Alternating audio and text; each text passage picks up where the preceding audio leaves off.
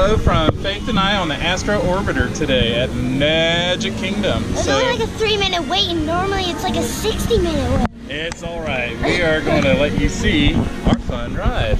So we'll be starting out. Over here on the castle with the little thingy nabob in front of it. Should have had it on your left To make your rocket ship fly higher, go back on the control lever in front of you. To descend, just push the control lever forward. Thank you.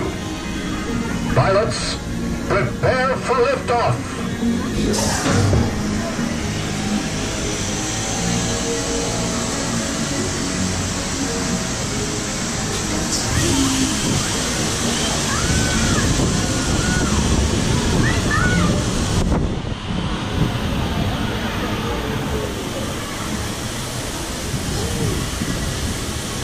Working on top of the Space Mountain.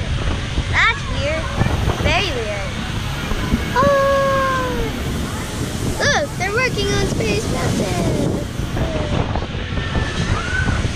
Oh! Oh my god. Woo.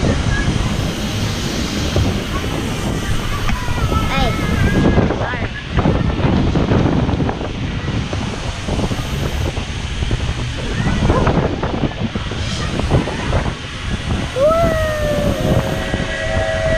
Here goes the train.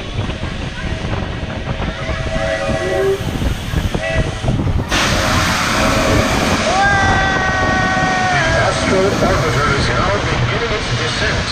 Please remain seated until your rocket ship stops and follow the arrows